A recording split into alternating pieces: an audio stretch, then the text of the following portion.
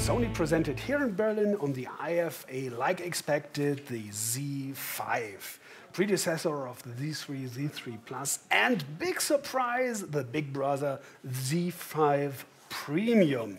As you can see, of course, bigger display. 5.5 inch now instead of 5.2, but also 4K resolution means 2160 by 3480 pixels. So you come to a premium density, I guess it could be world record um, of 800 ppi. Comparison 428 here, just like on the Z3 and Z3 Plus by full HD. So um, yeah, kind of doubled the pixel density, but you can't see anything like here on the screen. So we have to see with the final results. If we have that final review, we will compare, of course, let's say one photo and then have a look, a comparison. Do you see a difference in real life by photos and by videos? But of course, it could be. Let's call it like that. Then, second, you have a totally new camera module. It's not only 2000, uh, it's not only 23 megapixels now instead of 20.7 like the predecessor, but also totally new model by new lenses, new sensor, new software. First of all, you have now kind of a oversampling, like uh, making 8 megapixels photos by that 23 megapixel sensor, meaning kind of three times oversampling being very sharp, very precise, very exact, like color and sharpness and so on. And in addition to that, they have enhanced um, the um, autofocus. Now with uh, phase detection pixels in that sensor, meaning you do not need anymore that contrast that's really enduring very long, taking time. Now you have just said, okay, this is this object is two meters away, and one step, need that all three possibilities are given in that, meaning you have phase detection only, you have uh, contrast only, and a combination of that. And the software is deciding in which situation what is doing the best results. But in most cases, Sony is uh, promising um, is enough that phase detection uh, um, method, and then you will have an autofocus in just one point, sorry, 0.03 seconds, 0.03 seconds only. Very, very quickly uh, you will have your, your images here.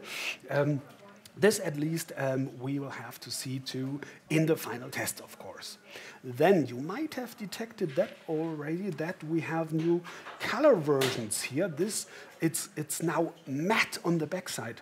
Uh, to have that comparison, maybe you can. Uh, it's black on black. Uh, not easy here, but I guess you know already these former Xperia backsides. Now with that not glossy, but with that yeah, matte backside. I really love that design way more than this one, even if you see your fingerprints, of course, nevertheless, but it looks um, in my opinion, more classy and better, but that's, of course, matter of taste. On the other hand, you have seen here on the side is a new on-off standby button. That's not only a new design, but new functionality, because below that, you will find now a fingerprint sensor in all new Z5 models, meaning I've prepared this one over here, the Z5 before. First, you have to uh, read your finger, let's say 20 times, or if you're a lefty, you will take this finger, for example. So you go here, and afterwards you can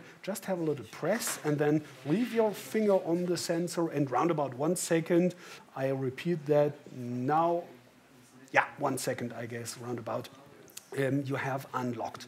Of course, it's the same technology like in iPhone and uh, other phones, you know, so it might be, of course, tricked out, but nevertheless, it's better than nothing or just typing or doing nothing, so at least a little bit. So uh, I couldn't um, just with my own fingers here uh, make any um, mistakes for that, so it's what I call better than nothing, but not 100% uh, secure, of course.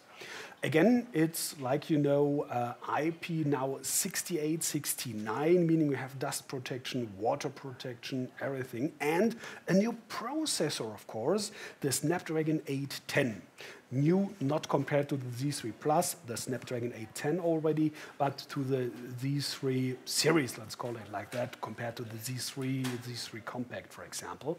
So uh, if this is a good decision, we will have to see because you know all these problems concerning the uh, Snapdragon 810 with its overheating and power going down, and especially uh, in the Z3 uh, plus I've seen that.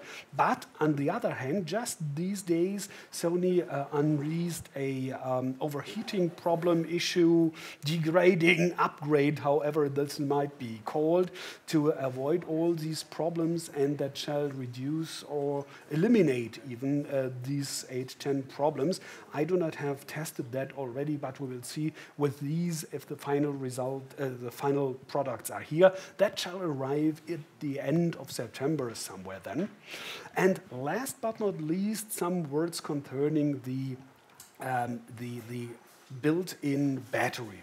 Here on the Z5 we have 2900 milliamps, meaning even a little less than on the Z3 Plus 2930. But on the other hand, you have a kind of new um, uh, technology uh, of the software, of the panel, of the uh, drivers for the Snapdragon processor, and so on. We have to see. And here on the Z5 Premium, that sounds good.